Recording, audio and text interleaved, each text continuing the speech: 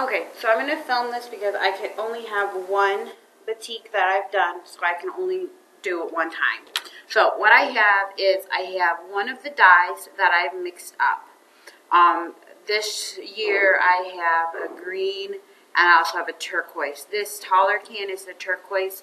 The shorter, more standard size coffee can is uh, the green color. I grabbed a pair of disposable gloves and I have my completed batik. Okay, well, my completed completed wax portion of my batik. Okay, I've covered most of it with wax. So I have my coffee can full of dye that I have mixed up following the directions. So the first thing I'm going to do is I'm going to put on my gloves. This is actual fabric dye. It is not, you get it on your clothes and your clothes are going to be stained, okay? So please put the gloves on. Um, and then what we're going to do is we're going to crumple up our batik. Yeah, you're going to lose some of the wax, as you can see, but you're not going to lose all of it. Okay, so we'll crumple that. I would recommend maybe going to the trash can and doing that.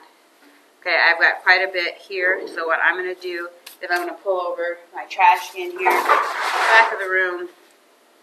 I'm just going to dump, dust that into the trash can just to make less mess. Okay, so now you can see that my batik is not quite as stiff as it once was. If you want to crumple it again, go for it. I'm going to crumple just a little bit more just to give it just a little bit more of the softness. Give it a good shake in the trash. I'm just going like this in the trash. Okay. And I have my crumpled batik. Okay. Now, as I said, this is actual dye. Okay. As in, it will stain your clothes, it will stain your hands, it will stain your hands for several days. Um, your clothes, it will stain for forever. Okay? So, in here, following the directions of the dye, I have mixed up the dye. They all look really dark and very black. This is actually the turquoise. Okay? So, right now they all look black. So what I'm going to do, I'm going to crumple this up and I'm going to submerge it in the dye. Now, the directions say that this needs to be submerged for at least an hour. Um, I will leave it in there for some time. I'm going to stir it up a little bit using my hands. That's why I said you need to have the gloves. You can see here the gloves are already getting a little dirty. Obviously, I only have so many colors, so we will probably have more than one person's in there at a time.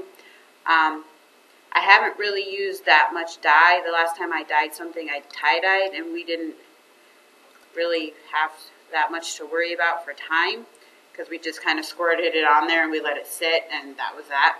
So what I'm going to do is I'm going to let this sit for a little bit, and I will probably show you what this looks like during class time if I can, and um, I'll decide if I need to have any more time or not. But I would say we will probably have more than one piece in there at a time, and um, I'll look at this in a little bit and see how it looks for color-wise, if I want it to be darker or light. Well, actually, I can't really make it lighter, but if I want it to be darker or not. So, I'm going to put the lid back on the can so that way the dye doesn't spill. Um, so, gloves are a must. We'll probably have one person or it'll be me and I'll kind of stir them up a little bit here and there and we'll kind of check and see how it's going. Um, but yeah, we'll see. The longer it sits in the dye, the darker the color will be. It's going to be an experiment no matter what. Um, we're going to need to be careful to make sure that we don't get dye on ourselves. But what the next step will be, and I will try to record that for you, is we will take it out of the dye, wring it out, and rinse it under cold water until the dye rinses out. And then we'll let it dry. And then we'll go on to the next step.